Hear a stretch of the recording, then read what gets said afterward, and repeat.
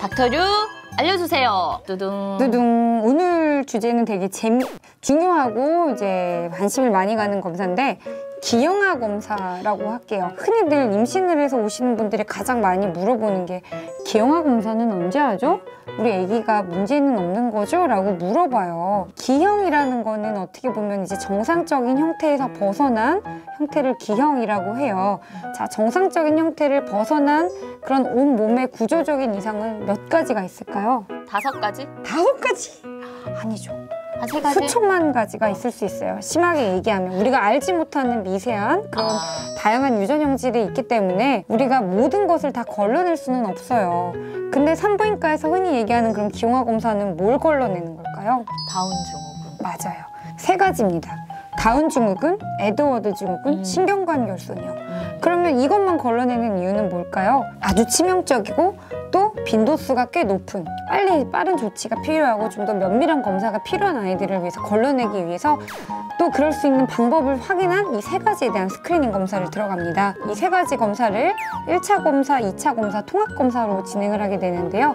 어떤 식으로 아이를 보게 되냐면 임신 11일주에서 14주 사이에 눈으로 아기를 초음파로 봐요. 그래서 어, 그때 생각나면 목덜미랑 목덜미. 콧대 음. 봤던 거 기억나실 거예요. 나요. 그래서 보통 목덜미 검사, 투명대 검사라고 하는 1차 경화 검사는 11, 14주에 눈으로 아이를 봐줘요. 근데 눈으로 보는 아기가 그때 한 5, 6cm밖에 안 되거든요. 그래서 확인한 항목이 대여섯 가지밖에 없어요. 뭐 뇌가 잘 있는지 배꼽, 그다음에 기본적으로 콧대랑 목덜미, 뭐 탯줄 들어가는 거랑 태반 잘 만들어졌는지 그 정도를 보고 이제 심박동수를 확인하게 되기 때문에 아이에 대해 파악하는 게 너무 없잖아요. 그래서 어떻게 검사를 하냐면 엄마 피를 뽑습니다. 어. 그래서 엄마 피를 뽑으면 임신 중에 엄마 몸에서 아이 때문에 변화한 호르몬이 있어요. 여성 호르몬도 변하고 태반 만드는 호르몬도 변하잖아요. 네. 그런 임신과 관련된 호르몬의 변화를 12주에 한 번 봐요. 그런 다음에 다른 엄마들이랑 비교해요. 엄마들끼리. 그러니까 엄마들 검사니까 엄마들끼리 비교해서 대부분 엄마가 다 요렇대요. 근데 우리 엄마도 이런 범주에 들면 오케이 통과 이렇게 지나가는 거예요. 아. 그렇게 보기에는 조금 검사가 너무 미흡하죠. 네. 그죠? 그래서 일부러 한 달 뒤에 또 합니다. 어. 1차 검사를 한 다음에 16주 지나서 또차 경험. 2차 경검사로 또 다른 호르몬 네가지 검사를 또 엄마들이 해봅니다. 그래서 1차 때 했던 거랑 2차 때 했던 거를 통합적으로 산출을 해서 평균적인 엄마들이 다 요래요.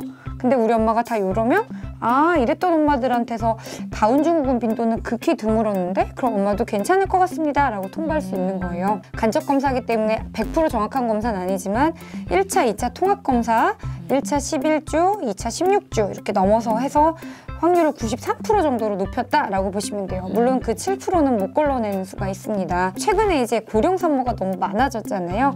이제 만 39세가 넘으면 우리가 흔히 알고 있다시피 다운 증후군의 빈도수가 급격하게 증가되는 포인트가 됩니다. 그래서 약 500분의 1에서 300분의 1 안쪽으로 다운 증후군의 발생 빈도가 들어오기 때문에 이렇게 이미 고위험군에 들어온 거예요. 어떻게 보면 이미 고위험군에 들어와 있는 분들한테는 또 다른 검사를 권해볼 수 있는데 그게 흔히 말하는 NIPT. 엄마랑 아기랑 10주부터는 태반이 만들어지면서 혈액순환이 시작이 되거든요. 네. 그래서 엄마 피를 뽑아도 아기께 나와요. 어. 그래서 아기 거를 직접 엄마들 피를 보는 게 아니라 엄마 피에서 아기 피만 똑똑똑똑 어.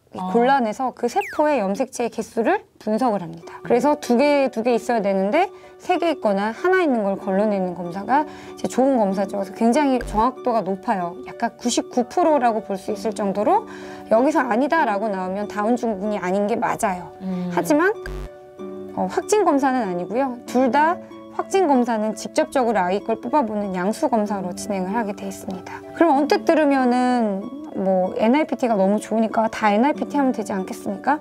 어. 근데 뭐가 문제일까요? 비싸다는 거. 맞습니다. 보험 적용이 안 됩니다. 그래서 이제 그거는 엄마의 선택인 것 같아요. 제가 볼 때는 39세 넘은 분들은 거의 하는 게 맞아요. 왜냐면 빈도수가 39세가 넘어가면 약 100분의 1 선으로 들어오기 때문에 어. 굉장히 고위험군으로 들어서기 때문에 39세가 넘는 분들은 많이 하시는 분이고 35에서 39 사이에 있는 분들은 되게 고민을 많이 하고 이제 반반 정도 하시는 것 같은데 어, 조금 이제 재정이 되면 고령 산모한테는 해주는 게 어떨까라는 생각도 들기는 해요.